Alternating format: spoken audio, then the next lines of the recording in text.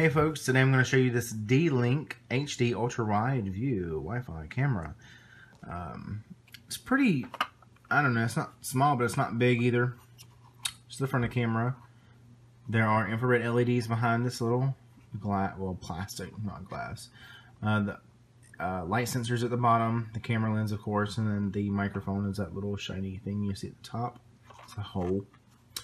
On this side, you have the micro SD port for saving files. I'm going to cover up all my information so nobody tries to connect to my camera. You have the micro USB charging port, the reset button, and the WPS setup button and the status light right above it. And of course the base, which can be unscrewed and mounted with the mounting tools, uh, hardware rather, that is supplied. And then you have the charging cable, or power cable rather.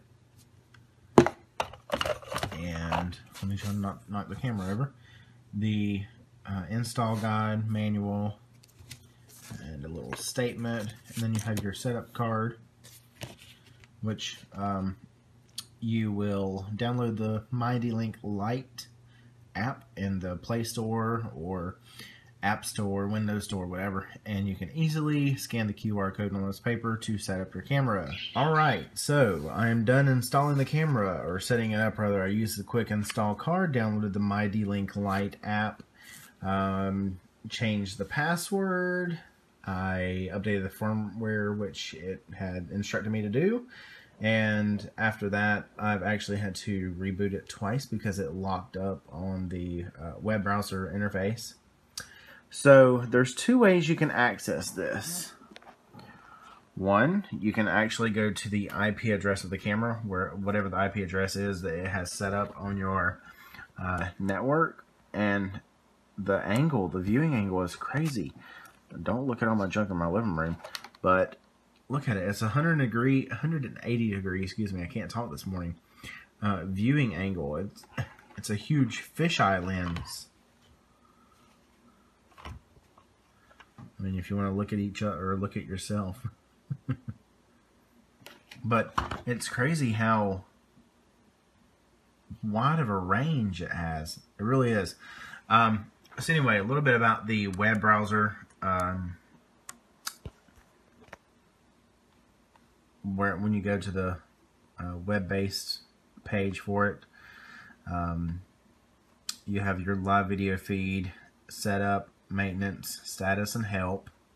Over here to the left, you can't pan and zoom because this camera doesn't support it. And there's no zoom in and out. There's no panning back and forth. There's no stopping the panning because it doesn't pan. Um, at the bottom, you have a profile one and profile two. I'm not exactly sure that what or what that's for. Profile 2 is the same. But you can take a snapshot, you can take video, and you can set the storage folder on your computer. And you can choose to stop listening to the audio. And if we go up here to setup, so load the actual setup page where you can choose the internet connection, um, motion detection settings, network setup, wireless setup, dynamic DNS, um, image setup, audio and video,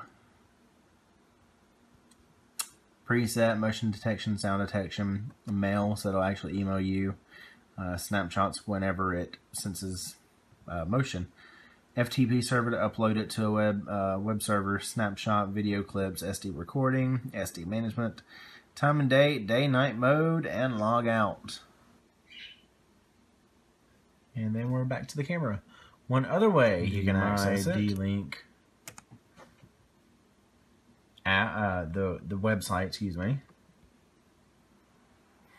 And going to your device and going to live view. This is with signing in to the actual mydlink site and this will be good for traveling because you can access it from anywhere. I mean, you could from your uh, camera to, I mean, your phone too, but if you can't access the phone, you can access it from a computer.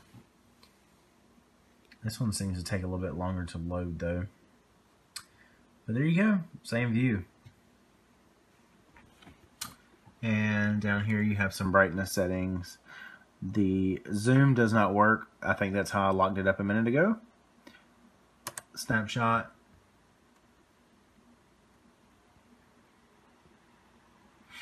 Loading a new page. Not really loading though. Here it goes. And save snapshot. And it will tell me to uh, choose a default location to save it. Then you have the 480p. You can change it to HD.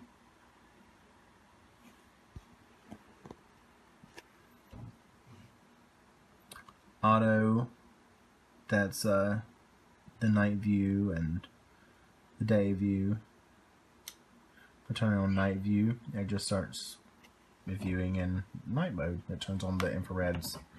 And I'll show you those infrareds right there. It's got a 16 foot range, I believe it is, 15 or 16 foot range for the night view. But anyways, um, simple web camera to set up. Uh, Really can't say much more about it. It's simple. It's easy. It's dummy proof. If you can follow the directions, it's dummy proof. But anyways, there you go. I hope you all have a wonderful day, and I hope I have helped uh, your decision making process in buying this camera.